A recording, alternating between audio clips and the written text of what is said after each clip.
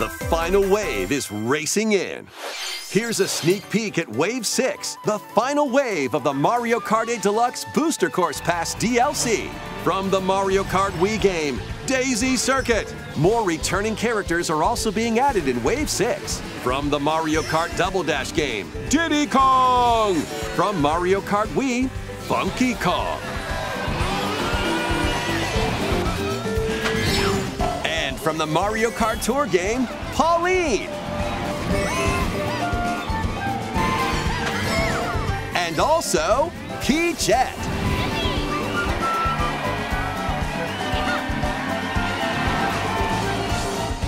Wave 6 of the Mario Kart 8 Deluxe Booster Course Pass DLC for the Mario Kart 8 Deluxe game drives onto Nintendo Switch this holiday.